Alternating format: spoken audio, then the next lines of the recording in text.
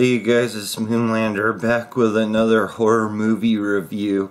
And today we're going to be taking a look at The Girl with All of the Gifts. And this movie is based on a book by M.R. Carey. And it's uh, about a fungus that infects people and makes them into zombies. Okay, so this movie started out pretty cool. It's, uh, you know, it starts off and it's showing you they have these children that are like in between fully infected and actually being normal children. And uh, they're using them uh, in experiments to try to find a cure. And there's a doctor played by Glenn Close, and she uh, you know, is using them to basically develop a, a vaccine or, uh, you know, to reverse the fungal infection. And the main character of the story is a young girl who, you know, wants to be normal, but she's very self aware of her, uh, you know, zombie infection. And uh, she makes great she becomes infatuated with her teacher. The the teacher uh, has developed strong feelings for her as well so she feels very protective of her.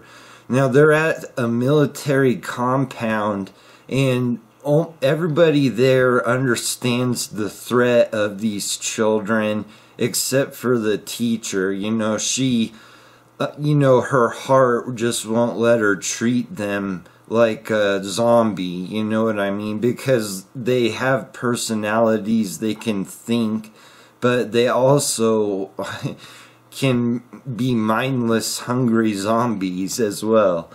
And this compound gets overrun, and the teacher and Glenn Close's character and some soldiers escape and they're trying to make their way back to, you know, main military installation, you know, so they can survive. But they have to travel through, I believe it's London they go through.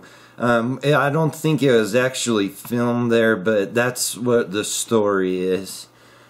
Now, this movie started off, you know, it's something really interesting and um, the when the compound gets overtaken by zombies, it was pretty exciting, and there was some pretty good action in it.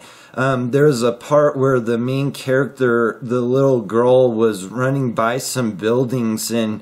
Uh, there was like stray bullets hitting the buildings because people are fighting everywhere. You know, that nobody's really worried about where they're shooting because they're being overrun.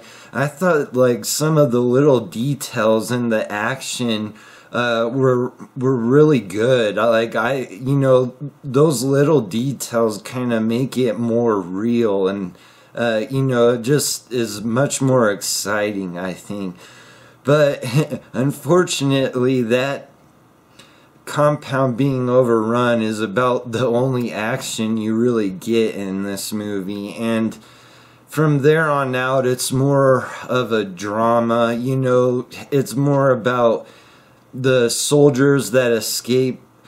Um, you know, developing relationship with the child and the child, you know, showing, you know, she's human and it's hard to just think of her as a zombie.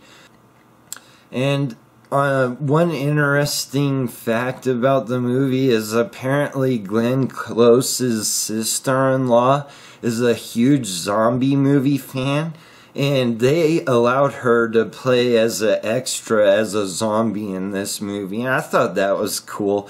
And I will say, I, I did like Glenn Close in this movie. I thought she did a good job. And, you know, her character was interesting you know, there's a scene where they're walking amongst the zombies because they're not alerted unless there's a loud noise or, you know, movement.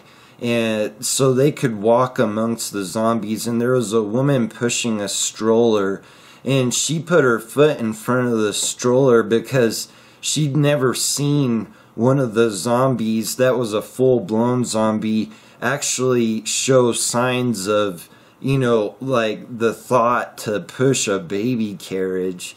And, uh, yeah, of course, the zombies end up becoming alerted because of it, but she just did it out of her curiosity. I found her character to be the most interesting, and I thought she played it well. Now, this is definitely not my kind of zombie story. And, you know, without giving the ending away, I, I found the ending to be disgusting, basically. I mean, I felt offended. This is not for me, and I don't think this movie is for uh, you know, your average horror movie fan. It's mostly just a story and character driven movie, which could be fine, but when the story's like about a child, I, I don't know why. I find just something a little obnoxious about it. And this is definitely fits one of those kind of obnoxious, like, you know, child kind of stories. Uh, I, I don't know. I just did not care for it.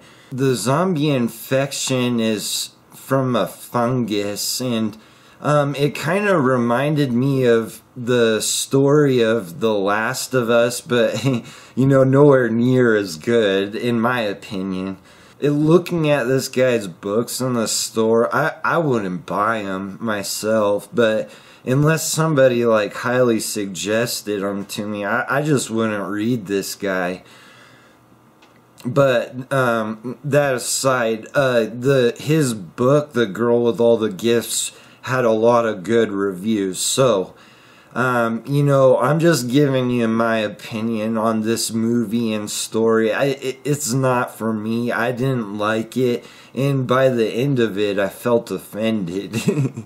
I felt tricked into watching an exciting zombie movie. And, you know, uh, after watching the Train to Busan, you know, I thought, hey, maybe there are some good zombie movies out there. And here I go watching this one, and I, I was disappointed. I, I did not like it. I, I just don't suggest this movie at all. Four out of ten and uh, I had to rent this movie on Amazon Prime for six ninety nine. So, you know, it's pretty new. I think it said it was released in January of this year. Alright, you guys, uh, I'll see you on the next review.